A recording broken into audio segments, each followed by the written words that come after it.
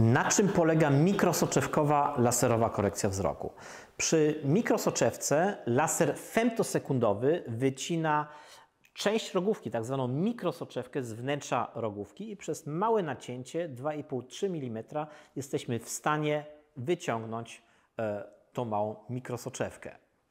Ja to zawsze porównuję do operacji laparoskopicznych, gdzie tak samo nie nacinamy całego brzucha, tylko robimy małe otworki i przez których wprowadzamy instrumenty i operujemy wewnątrz brzucha. I tutaj mamy analogię.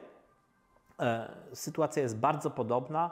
E, operujemy wewnątrz rogówki i przez małe nacięcie efekt tej operacji, e, efekt tej, tego zabiegu można wyciągnąć i tym samym korygujemy wzrok.